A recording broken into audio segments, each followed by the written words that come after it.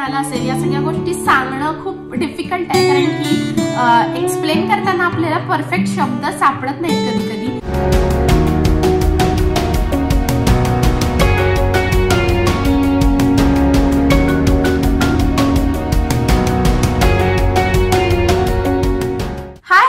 नमस्कार कसे आहात? बरे आहात ना? मी स्नेहा तुम्हा सर्वांचं स्वागत करते. इंडियन वॉमेन कॅलिफोर्निया या आपल्या युट्यूब चॅनलवरती तर आजचा व्हिडिओ काय असणार आहे हे तुम्हाला सर्वांना थंबनेलवरून लक्षात आलंच असेल. तर आजचा व्हिडिओ असणार आहे क्यू एन ए व्हिडिओ तर मी काही दिवसांपूर्वी कम्युनिटी पोस्टवरती एक पोस्ट टाकली होती आणि त्याच्यामध्ये तुमचे जर काही क्वेश्चन्स असतील प्रश्न असतील तर ते तुम्ही मला विचारा.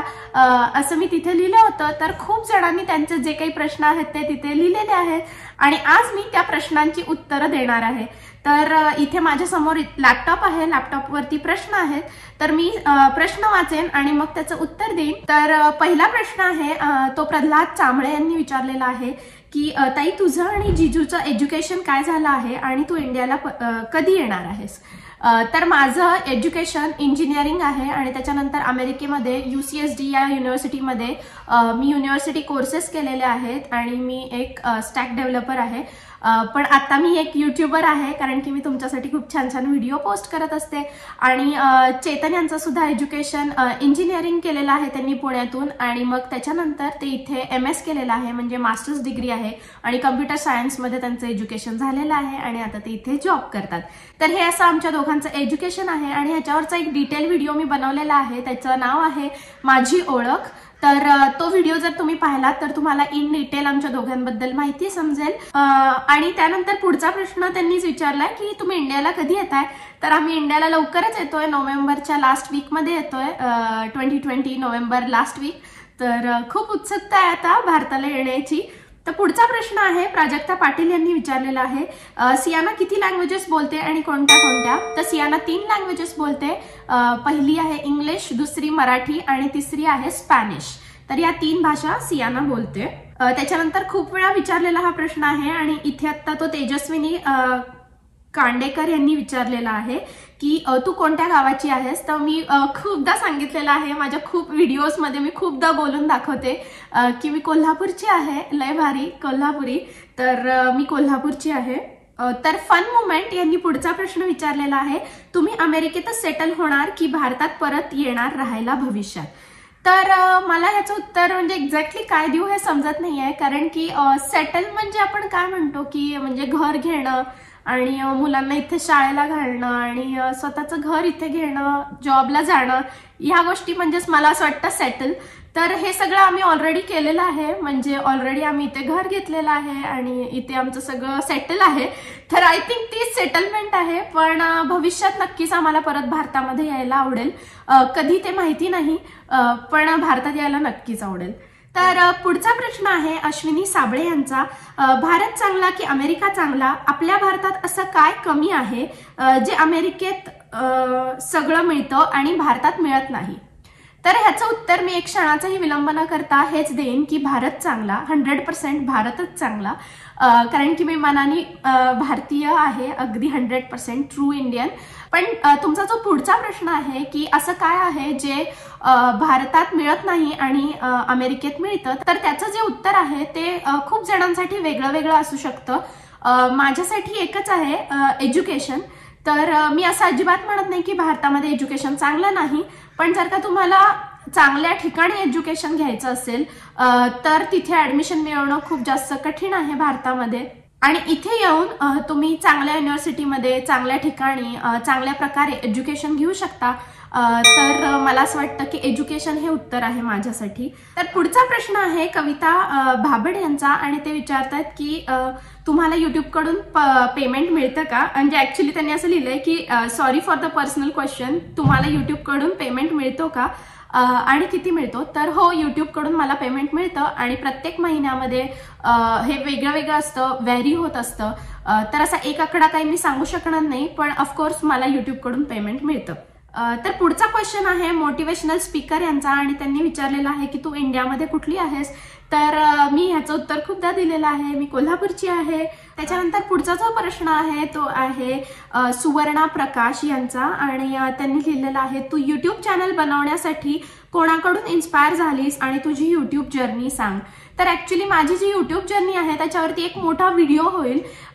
पण आत्ता मी एकदम शॉर्टमध्ये उत्तर देते की युट्यूब बनवण्यासाठी मी इन्स्पायर झाले टू थाउजंड फोर्टीनमध्ये जेव्हा माझं लग्न झालं होतं आणि मी अमेरिकेत आले होते. तर त्यावेळेस मी भरपूर इथे युट्यूब चॅनल बघायचे कारण की माझ्याकडं भरपूर वेळ असायचा.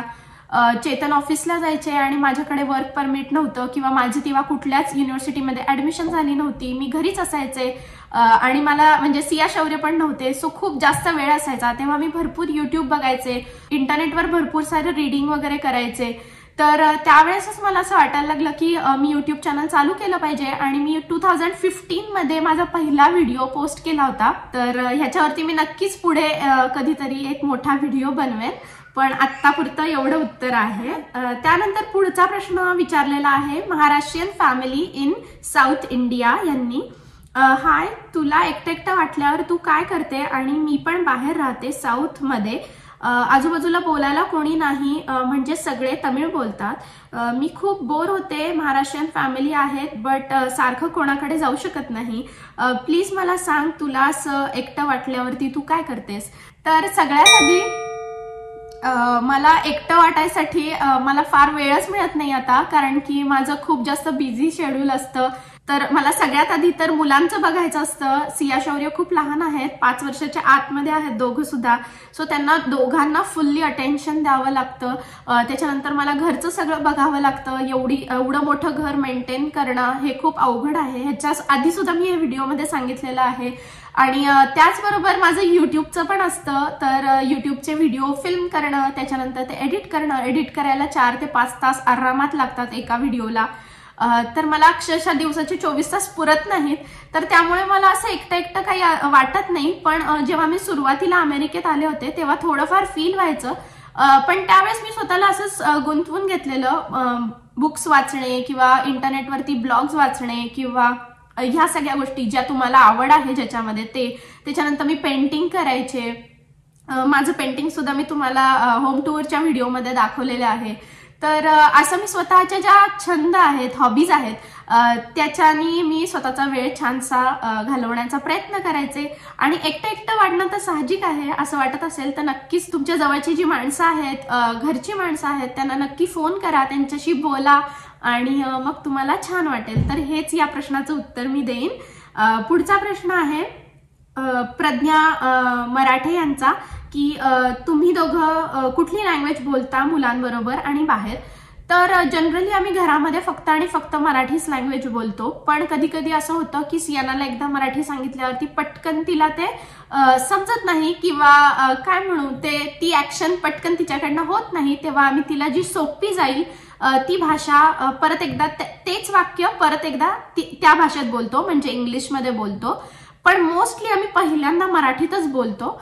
आणि जेव्हा आम्ही बाहेर कुठे असतो तेव्हा आम्ही इंग्लिश बोलतो. कारण की समजा आमच्या कॉन्व्हर्झेशनमध्ये कोणी इंग्लिश माणूस असेल तर त्याला सुद्धा त्या कॉन्व्हर्झेशनमध्ये पार्ट असल्याचा फील व्हावं म्हणून. तर पण जेव्हा आम्ही आमची फॅमिली असतो तेव्हा आम्ही मराठीमध्येच बोलतो. तर पुढचा प्रश्न आहे वृषाली गोरे यांचा. तुम्ही प्रॉपर कुठले आहे? तुमचं मूळ गाव इंडियामधलं आणि इंडियाला कधी येणार आहे? या सगळ्या प्रश्नांची उत्तरं मी ऑलरेडी दिली आहेत.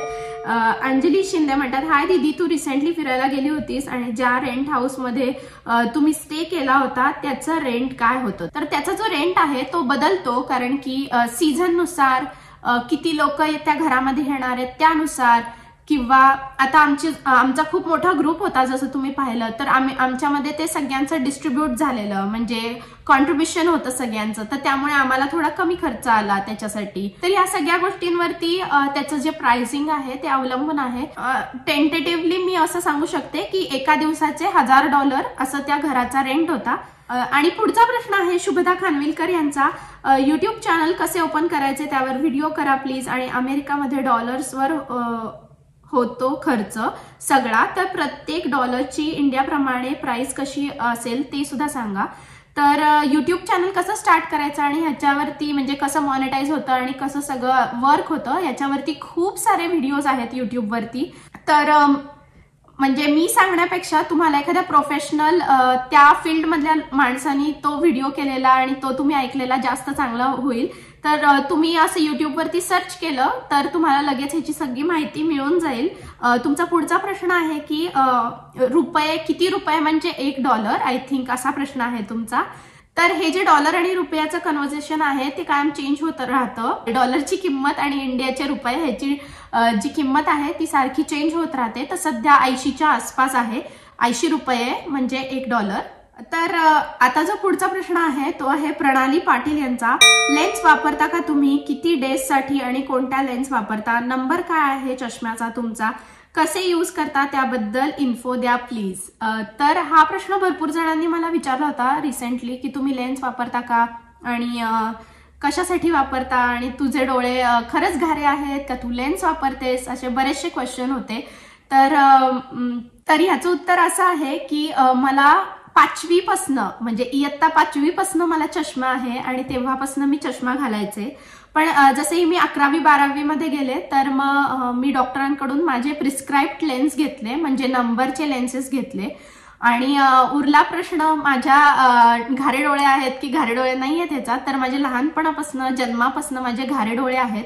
आणि माझे जे लेन्स आहेत ते फक्त आणि फक्त नंबरचे क्लिअर लेन्सेस आहेत ते कलर लेन्सेस नाही आहेत. तर मला चष्म्याचा नंबर आहे आणि तो बराच आहे कारण की खूप लहानपणापासून मला चष्मा आहे. तर त्यामुळे मला चष्मा घालणं किंवा लेन्सेस घालणं अनिवार्य आहे. म्हणून मग मी आयदर चष्म्यामध्ये तुम्हाला दिसते किंवा मग जेव्हा चष्मा नसतो तेव्हा मी लेन्सेस घातलेले असतात. तर रोहिणी जाधव यांचा पुढचा प्रश्न आहे आणि त्या विचारतायत की तू किती इयर्सची आहेस आणि सांगलीत कोणत्या कॉलेजला होतीस? तर मी थर्टी थ्री इयर्सची आहे आणि सांगलीमध्ये मी P V P I T Padmabhushan Vasantrao Dada Patil institute या कॉलेजमध्ये मी शिकलेली आहे. तर पुढचा प्रश्न आहे राजश्री मानेरीकर यांचा. हाय तू जॉब कधीपासून करणार? तिकडे दिवस दिवसभरासाठी प्ले ग्रुप असेल ना कारण तू इंजिनियर आहेस ना म्हणून म्हणते. ओके तर या प्रश्नाचं उत्तर मी कसं सु- कसं देऊ ह्याच्याबद्दल मी विचार करते कारण की ह्याच्याबद्दल मी- आम्ही मी आणि चेतन यांनी दोघांनी सुद्धा खूप जास्त विचार केलेला आहे. की मुलांना कसा वेळ द्यायचा किती वेळ द्यायचा आणि स्वतःच्या जॉबला करिअरला कसा वेळ द्यायचा ह्याच्याबद्दल आम्ही खूप जास्त विचार केलेला आहे. आणि माझं स्वतःचं पर्सनल मत असं आहे की मुलांचं जे ग्रोईंग एज आहे जी त्यांच्या वयाची पहिली तीन ते चार वर्ष आहेत ती खूप जास्त महत्वाची आहेत. आणि अमेरिकेत तर ती त्याहून जास्त आहेत महत्वाची कारण की इथे आजूबाजूला आपल्यासारखे लोक नसतात वेगळे लोक असतात. हे तुम्हाला सगळ्यांना माहितीच आहे. इथलं जे अपब्रिंगिंग आहे शिकवण्याची पद्धत आहे ती खूप वेगळी आहे.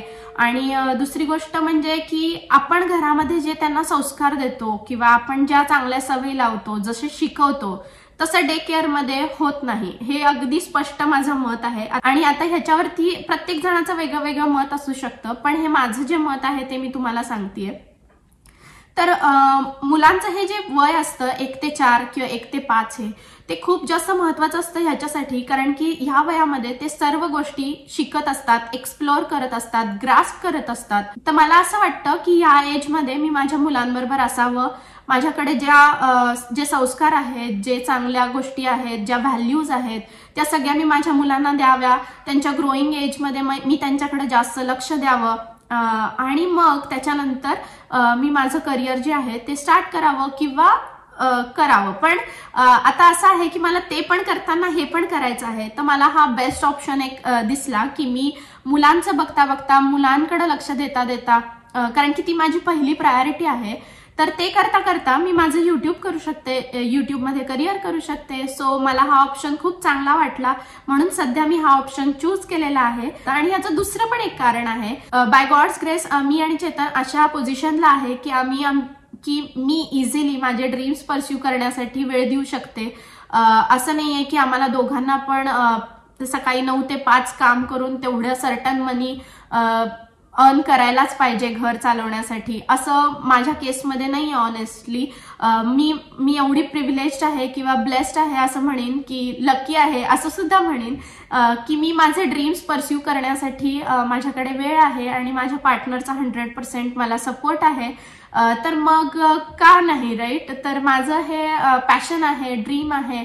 आणि ह्याच्यामध्ये मला आवड आहे. म्हणून चेतन आणि मी असा एक म्युच्युअल डिसिजन घेतलेला आहे की मी माझा ड्रीम परस्यू करायच्यासाठी प्रयत्न करत आहे आणि चेतन फुल टाइम जॉब करत आहेत. तर आय होप की या सगळ्यातून तुम्हाला तुमचं उत्तर मिळालं असेल. या सगळ्या गोष्टी सांगणं खूप डिफिकल्ट आहे. कारण की एक्सप्लेन करताना आपल्याला परफेक्ट शब्द सापडत नाहीत कधी कधी पण मी माझ्या परीने भरपूर प्रयत्न केलेला आहे आणि आय होप तुम्हाला त्याचं उत्तर मिळालं असेल. तृप्ती जाळे यांनी पुढचा प्रश्न विचारलेला आहे की तुम्ही किती दिवस आहात भारतामध्ये? तर आम्ही एक ते दीड महिना भारतामध्ये राहणार आहे. त्याच्यानंतर thirty six thirty six Jyoti Kale यांनी विचारलेलं आहे की तुम्ही तुझं एज्युकेशन काय? तर ह्याचं उत्तर मी पहिल्यांदाच दिलेलं आहे आधी त्यानंतर माझ्या भारतातल्या फॅमिलीबद्दल भरपूर जणांनी प्रश्न विचारलेले आहेत की आई बाबा कुठे असतात? सासर कुठे आहे? माहेर कुठे आहे? भारतात आल्यावर तू कुठे राहणार? या- या सगळ्या प्रश्नांची जी उत्तरं आहेत ना ती तुम्हाला माझा एक व्हिडिओ आहे माझी ओळख. या या व्हिडिओमध्ये मी डिटेलमध्ये सगळी माहिती दिलेली आहे. तर तो व्हिडिओ जो आहे तो मी इथे डिस्क्रिप्शन बॉक्समध्ये लिंक करते. तर तुम्ही नक्की तो व्हिडिओ चेक करा आणि तुम्हाला सगळी डिटेलमध्ये मग माहिती कळेल. तर तुम्ही सर्वांनी एवढे छान प्रश्न विचारले आणि त्यांची उत्तर देण्याचा मी पूर्ण प्रयत्न केला. तर आय होप की आजचा व्हिडिओ तुम्हाला सगळ्यांना आवडला असेल. जर व्हिडिओ आवडला असेल तर जास्तीत जास्त लाईक करा शेअर करा आणि अजूनपर्यंत जर चॅनलला सबस्क्राईब केलं नसेल तर नक्की सबस्क्राईब करा. भेटते तुम्हाला पुढच्या व्हिडिओमध्ये तोपर्यंत तुमची काळजी घ्या. बाय